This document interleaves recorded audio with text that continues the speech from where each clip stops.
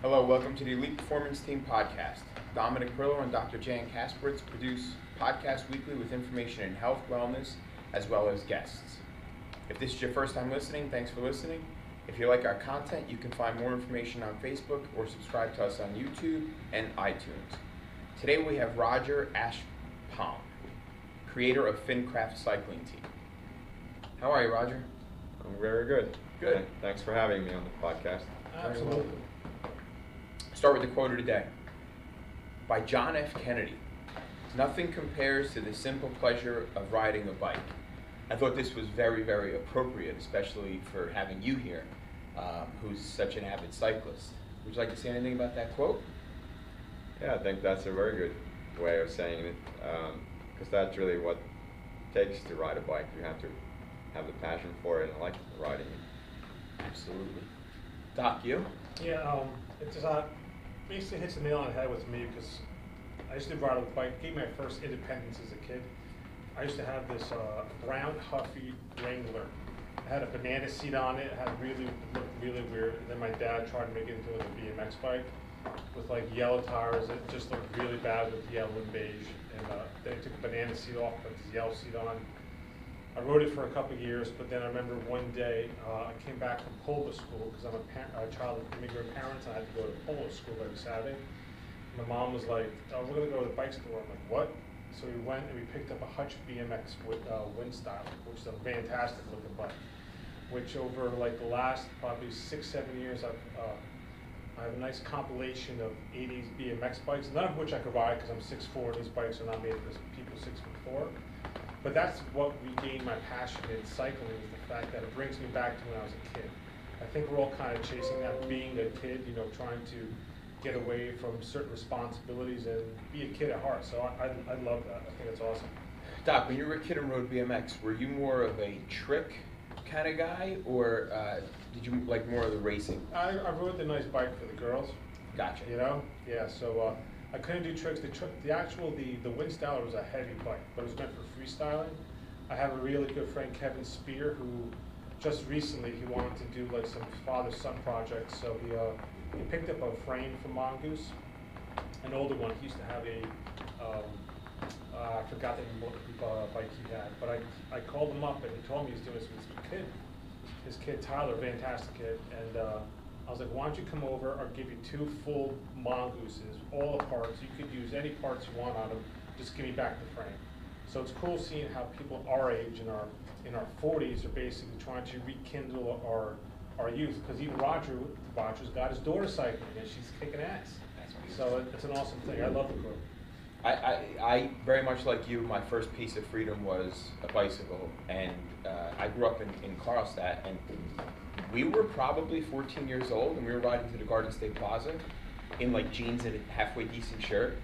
If my mom sees this, she's probably gonna yell at me. But anyway, and we would try to pick girls up. That's how we got to the mall, and we, we rode, you know, and it was a one gear right BMX, and but I, I had a, it's funny I have a similar story. So I had a baby blue.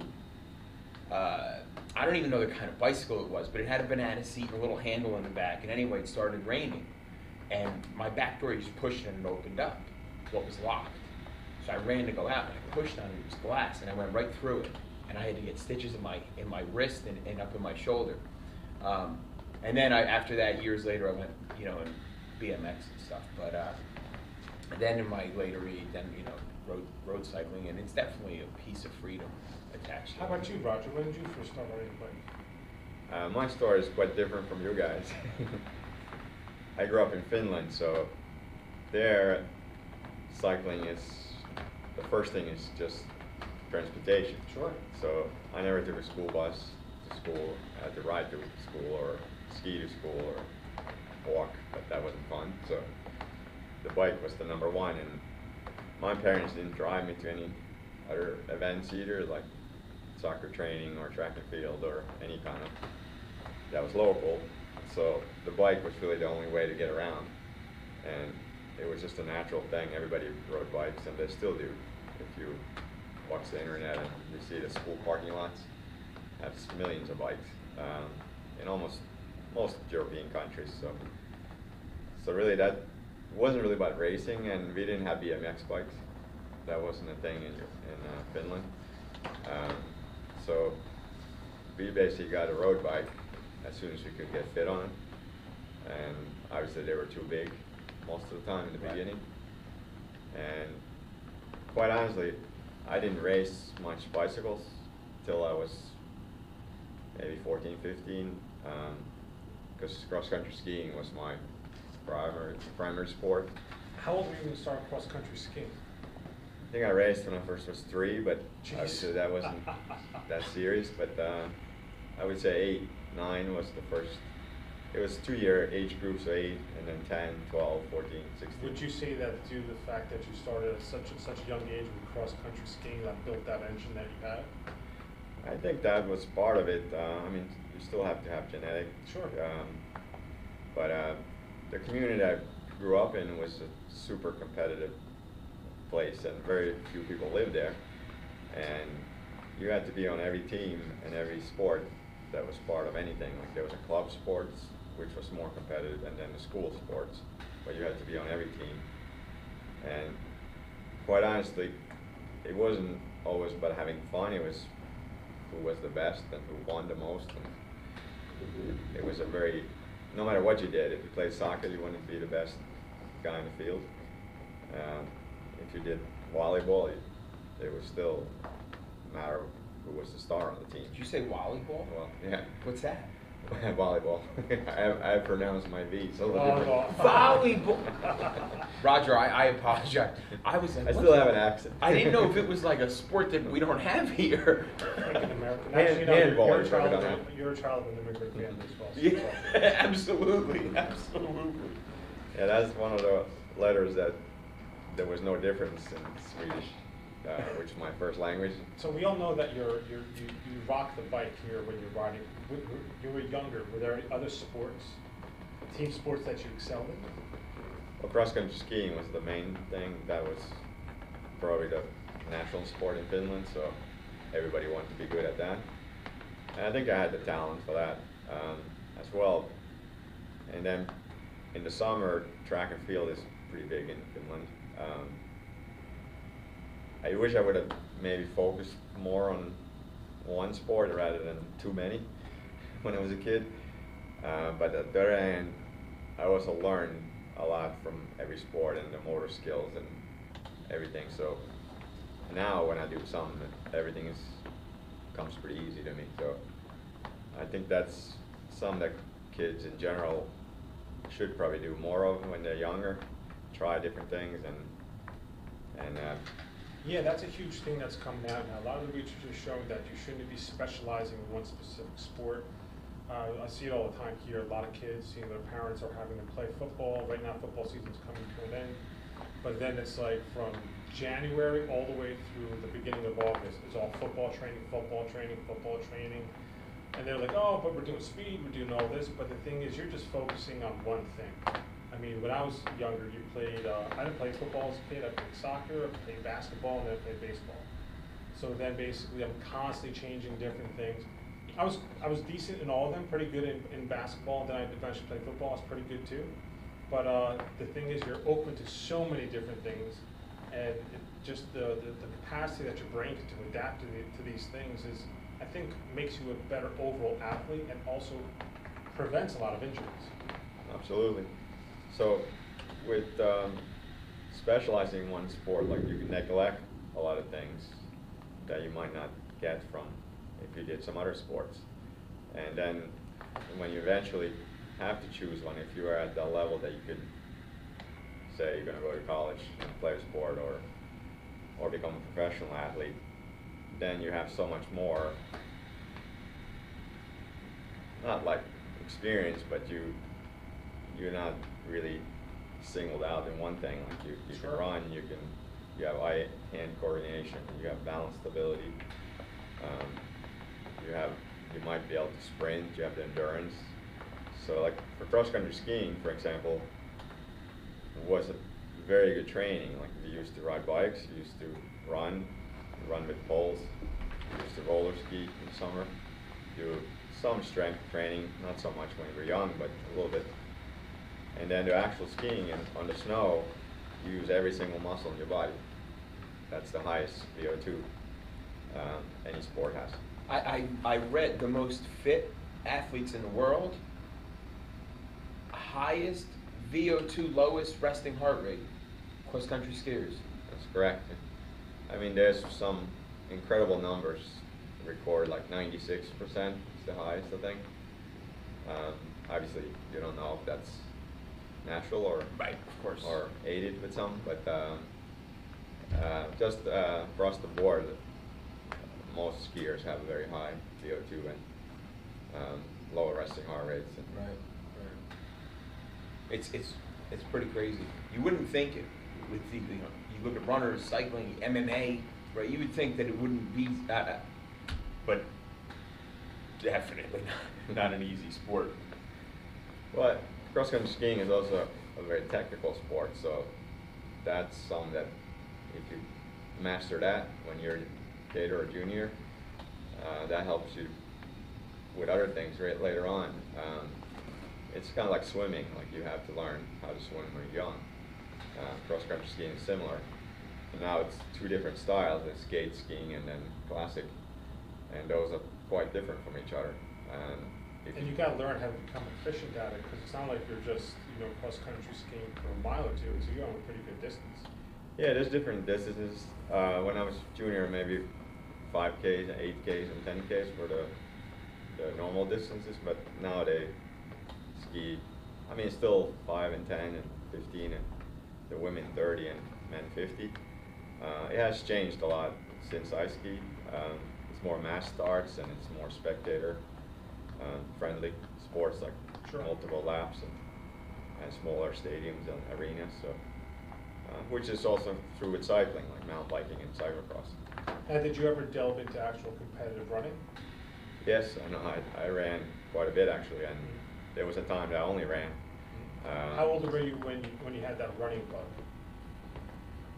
Well, it was just the progression of life. I think I stopped skiing when I was in the military uh, in, in Finland.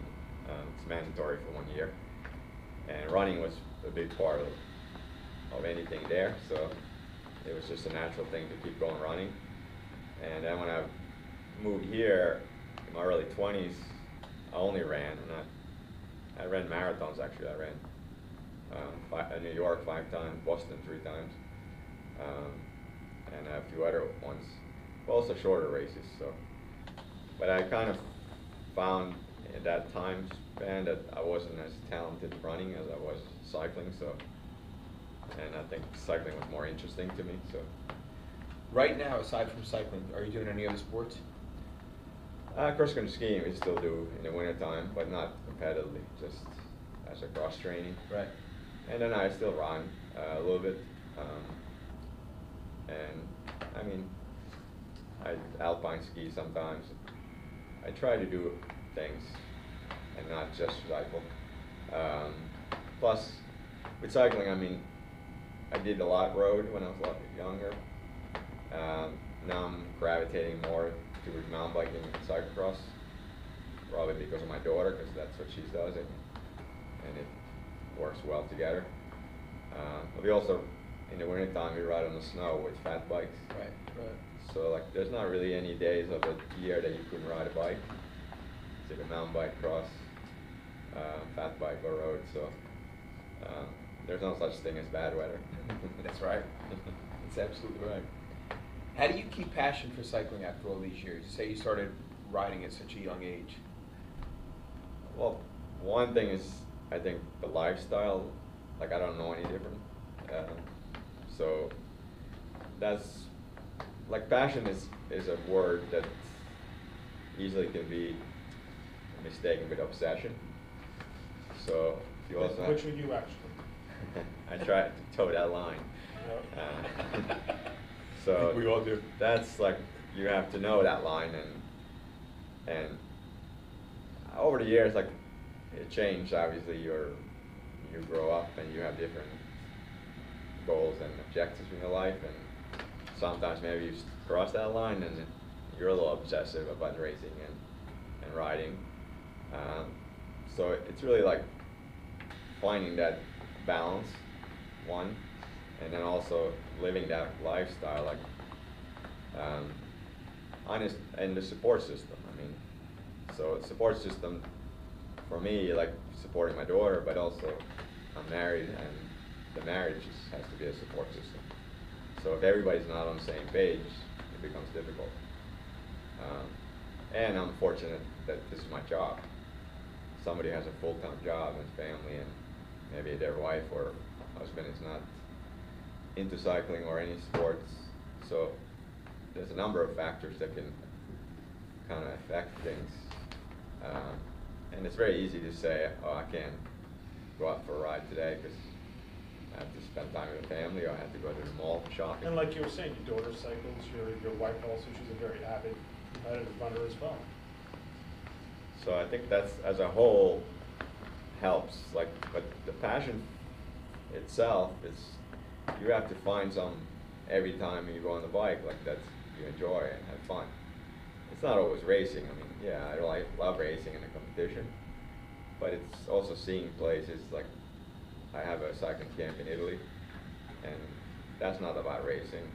Yeah, we watched the Tour of Italy and Giro d'Italia, and but we just ride also on on roads that kind of iconic roads for old races and the culture there, and that's something that you would never never see as a regular tourist. Right. Um, it's a very different view from the bike. Um, racing itself, you meet people all the time, different people. You have basically friends, racing friends that you see every weekend. Um, so it's also a social part. Um, but I think for everybody who races, it's still the competition that drives them. Um, even they place top ten or they win the race, there's always a competition, and that will make that's what makes you go home and train again and race again in the following weekend. So. Very true. When did you start FinKraft? I believe I started officially in 2006. I broke my collarbone and my scapula, and I couldn't really work like a regular job. so that was a good transition. Uh, I had coached some people before that, um, part time, but then that's when I really switched to full time. And if I can tell you about FinKraft, so at that time I was trying to figure out a name um, that wasn't associated with me personally. Like I didn't want to have a company named after me. Um, so my daughter's name is Finley, and I'm from Finland. So that's the Finn part, and they used to call me the Finn or the Flying Finn. Um, craft means, or Kraft is strength or power in many languages, German, Swedish, Dutch. Um, so that's why FinKraft. Um, and when I started the company, I didn't want to have just one thing like a coaching. I wanted to have options. What if that doesn't work out? So maybe FinKraft could be a landscaping company. uh, so uh, no, I wasn't thinking about that, but Sure. um, so we, Logical, coaching is the number one, yeah. right? Coaching is number one. But uh, we also do bike fits. We use the Retül system. Um, I do cycling trips to Italy now. I have done many times to Arizona and so like training camps. Um, and then we have the race team. So, so the race team is divided in many different groups. Uh, there's a road team for men, there's a women's team, we have a junior team, we have a multi-sport team, which is runners and triathletes, uh, and an off-road team. Some mix together a little bit, some don't. Some people don't even know each other. Um, so the reason for dividing them up was to have these tight units and feel like you're part of the team. So um, that's really a good would say like besides riding a bike, it's also a passion of mine. Um, helping people like racing and feeling that they're part of a team and excelling. Right, right, right. Have them achieve their goals. Right. Yeah, that's good. And coaching is the same. I mean, yeah, I started the coaching, and I think it had something to do with my results, and people knew me from racing, and that's how everything evolved. but it also got to a certain point that it's not about me anymore. Uh, it's what they achieve. So that's kind of like the advertisement for the for the coaching. So if I coach somebody and they win a national championship or a world championship, um, they did the work. I guided them or helped them, uh, and that's very satisfying. Um, so I'm, I'm fortunate. I've coached two women that won world championships. Uh, I coached several guys that won, and women for uh, U.S. national championships. So. Um, You're very humble, but what, what, what, what have you won recently? uh, most recently, I won the Finnish national championship on a mountain bike. Fantastic, when was that? That was in this this summer. Excellent. Uh, in uh, July, I think. What's the jersey? Because we have your jersey hanging in our office as well, with the American flag on it. So that's the U.S. Um, national championship in mountain bikes. Fantastic. So I won the road twice, cyclocross once, uh, mountain bike twice, and then I placed in the world championship, um, third in cyclocross, and most recently fourth in the mountain bike race in Canada. But uh, yeah, humble is is really what you should be. It doesn't really change your life. Sure. Uh, winning things, uh, especially on a master's level. If you're a junior and you're aspiring pro, obviously that has a lot of weight to it. Uh, but I think still humble goes a lot long further than than bragging about things. And we always used to tell let let the legs talk.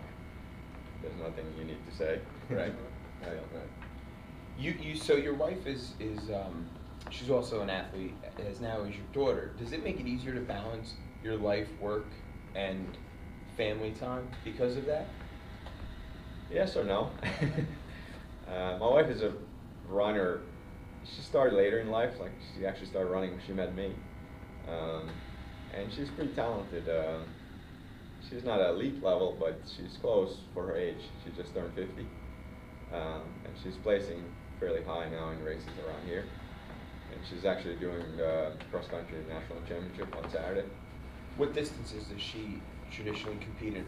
Well, she was with running like you do a 5K and then the next thing you want to do a marathon, right? Right. if you do a sprint triathlon, you have to do an Ironman. So she was really into to marathons and really wanted to do a, a, a good time. And she has done, I think, 25 or 26 marathons. Oh. Um, but I always tell her focus on speed and don't run marathons all the time. And she did take a little break, and she has actually improved a lot in speed now. Um, so she does pretty much every distance, and she even ran on the track a little bit. Um, she's done an indoor event. She has done some local track events. Oh, good. Um, she loves running. Like she has, that's her passion. She doesn't want to ride a bike. I've seen some of that passion with tears. That's her thing. Yeah. yeah. Always crying. Sure. That's uh, Tears of joy. That's a trademark for her when she finishes a race. Yep. So, my daughter, um, she's 13 now. So she's been with me to races all her life because one, my wife is a nurse and she works odd hours and sometimes weekends. So I always had to bring my daughter. Uh, sometimes it was difficult. You had the babysitters and sometimes somebody had to watch her at the races.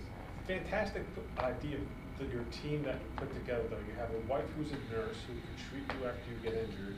Then you have a daughter who could, who could use the power washer for your cyclocross racing and exchange bikes. It's fantastic, very strategic. Yeah, that was good. So way to set that team up. sport. Yeah, yeah, yeah. So my daughter was exposed to cycling because I didn't. That's what I was doing, um, and I asked her many times, "Do you want to try to race?" Throughout the years, and we bought her a cyclocross bike, and she had other bikes, small bikes, and she wasn't very interested. Um, like she always said, "No, I don't want to try," and there was always some excuse. She did run, and she definitely had some athletic talent or, or quite a bit. Uh, I always thought swimming was, she was really good. Uh, she was naturally, uh, the technique, she never really worked on it, but she swam really well. Um, then one day, we were at the pretty big race in Boston uh, by Gloucester, and I had finished the first day, and it was a pro race, and I, I said to my daughter, "Let's do the course and see if you can do it." We had our bike with us, and she didn't really have any cycling clothes or anything, and a couple other girls, a little older than her, but close to age, came with us, and we rode the whole course, and she had no problem, and she did the whole thing. As soon as we finished, she said, "Can I race tomorrow?" So just with, I think like with kids in general, if they see other kids doing it and, and they able to do the same, that's really what sparks the, the interest or the, and she has raced every single weekend almost since then.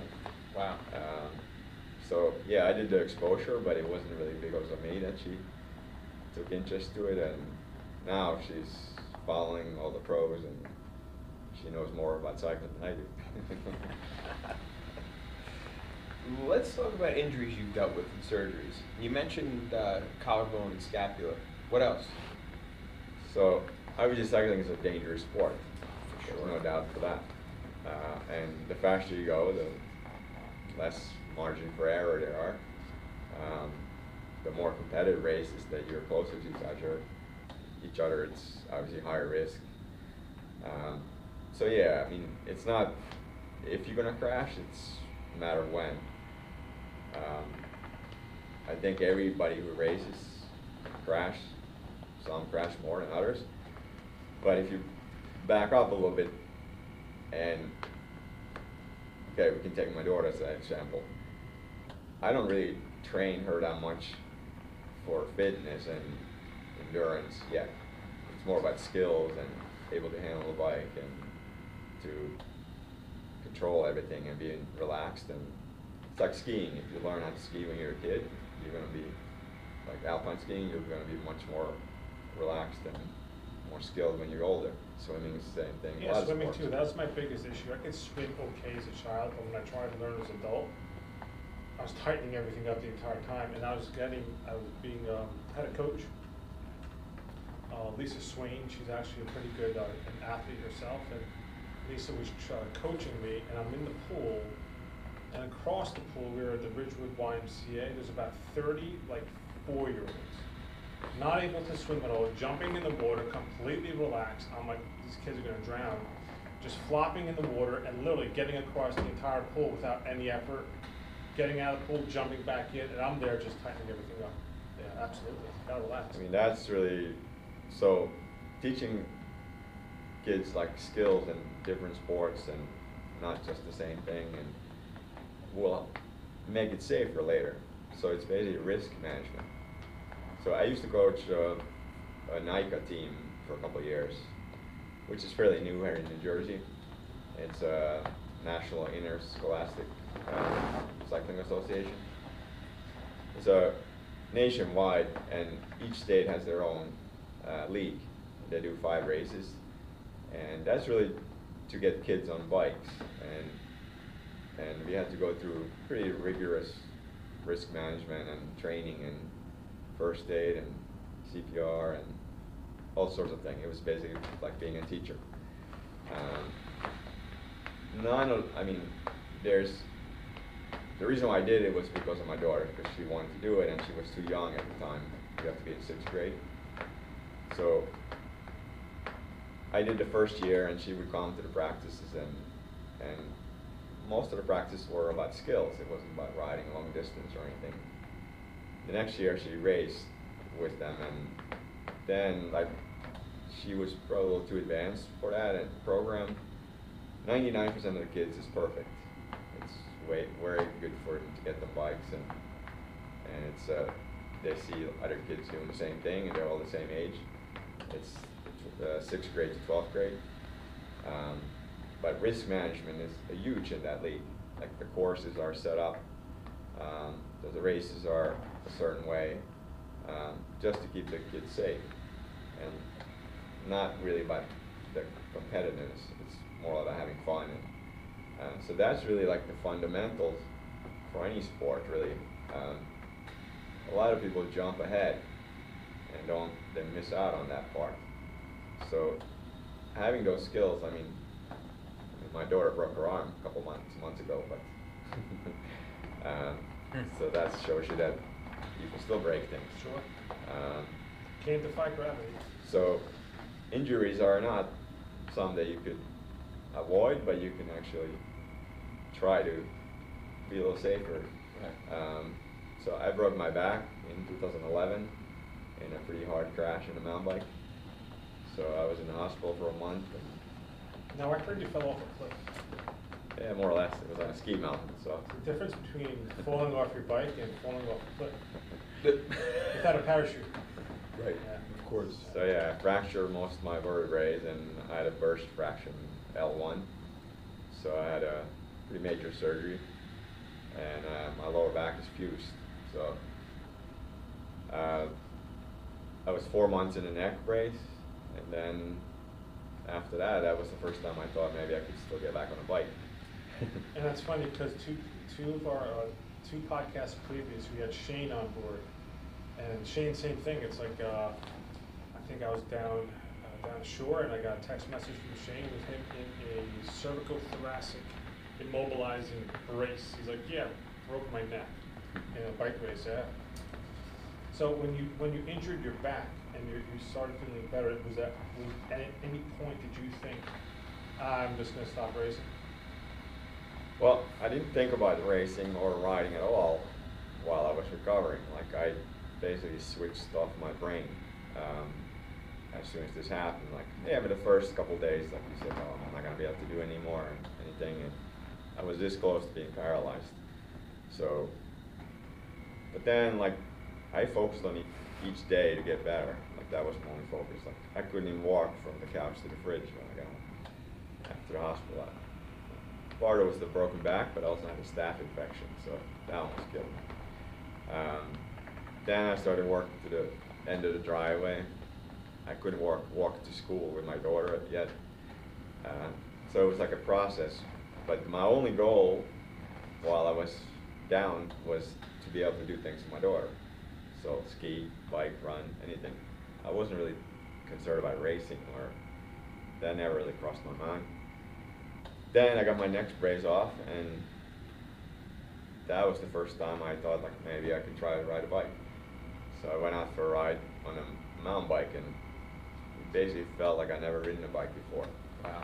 And I lost a lot of muscle mass, and I was pretty weak.